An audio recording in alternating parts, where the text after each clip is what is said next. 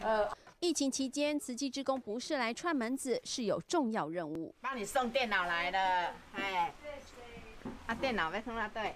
窄小平房，一家五口睡的床占据所有空间，但走道上多了电脑的专属桌子。慈济职工现场组装，十多分钟后能连上网络，让静杰好开心。做到老师派的一些功课，嗯，就不会再漏掉。就读国三的他，停课以来以手机视讯上课，家里没电脑，许多作业无法交。但长辈收入锐减，生活都快出问题了，根本不可能添购电脑。两个人拢较无收入吧？无，啊，我即卖遐袂当去做，只存只七千块，安尼在生活。志工送上生活用品，疏解阿妈的压力。另一个家庭也在期盼着电脑。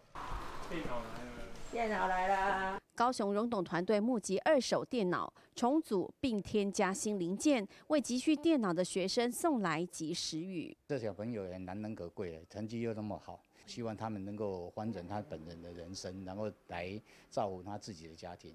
实业家亲自前往内门山区送电脑，还协助组装，只愿这份用心帮助经济弱势家庭的孩子在家学习也能不落人后。大爱新闻陈真林、道明谢如佳高雄报道。再看这个，则是即时。